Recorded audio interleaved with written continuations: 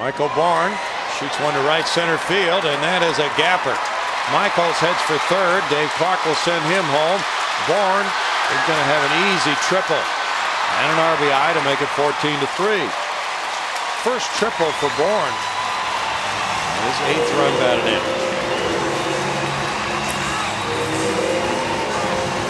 Lopsided game. Fair number of folks have left, but those that stay have something to cheer about. Michael Bourn run around the bases. That's always fun.